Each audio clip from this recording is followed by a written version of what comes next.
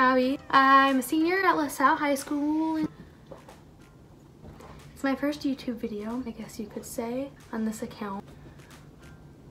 Um, I've had old YouTube accounts. I was embarrassed. Today, on my Instagram, like I had people ask me some questions. I got some, and then I just figured I could fill you in on the rest. I have the questions on my laptop here, so, um, what is your channel? I don't know. I want to do like vlogs. I've been working on like a vlog this past summer. We'll see. I don't really know.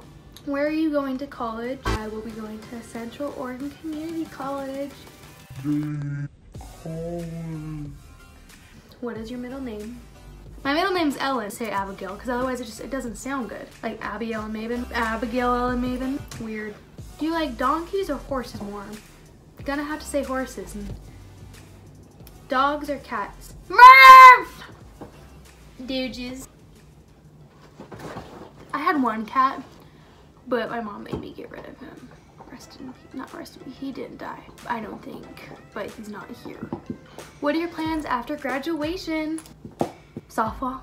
I don't have plans. Do you have any fun trips coming up? I'm going to California for spring break with high school softball. We're going to Disneyland. I'm so excited. I love Disneyland. I'm really excited. But I'm kind of worried if I hype it up too much and it won't be as much fun as I'm thinking. Does that ever happen? But then you get there and you're like, yeah.